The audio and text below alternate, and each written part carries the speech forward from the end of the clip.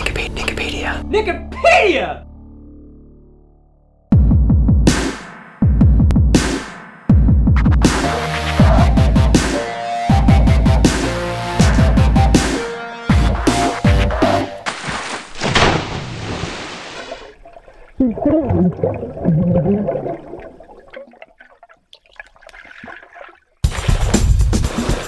The answer is yes, but how and why depends on the fish and its environment. But first, let's talk about why a fish would need to drink water.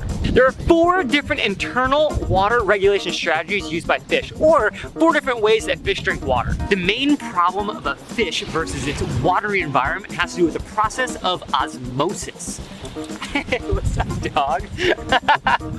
nice. Osmosis is defined as the net movement of water molecules through a semi-permeable membrane. In the case of the fish, the membrane is its skin and the environment is the water.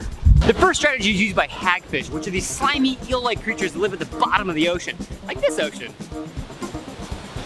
They have a very simple method. Their total body salt concentration is that equal of their environment, meaning they're completely isotonic to the salt water around them. They don't do anything. Water flows in and out, and they're just hanging out, easy peasy, beautiful. Hagfish girl. The second strategy is used by marine elasmobranchs, better known as sharks, skates, and rays. Elasmobranch. Their body fluid has a lower concentration of salt than the seawater around them, meaning they're constantly losing water to their environment through osmosis through their skin. But they've developed a strategy to overcome this. Instead of peeing out organic salts, they actually put them back into their blood, effectively raising their salt concentration to that greater of the ocean around them. Won't be losing any salt here. Freshwater fish, or teleosts, have the exact opposite problem of sharks. Their body salt concentration is at higher of the freshwater around them, so they're constantly taking on water via diffusion through their skin and gills. In order to get rid of the excess fluid, freshwater fish have developed very specialized kidneys that put out a lot of dilute urine. So remember, the next time that you're in a freshwater pond, you're really swimming in nothing but a bunch of fish pee. Fish pee. Fish pee.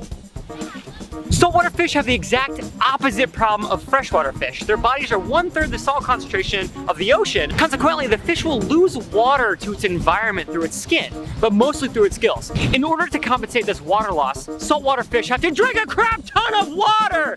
In fact, almost up to 10 milliliters per kilogram of body weight. That's a lot of water. And they have dysfunctional kidneys or smaller kidneys that don't filter as much water through their blood and excrete water out of their body. So, if you were to say that you drink like a fish, you would be correct, but only if it were a saltwater yeah. fish. Like that saltwater.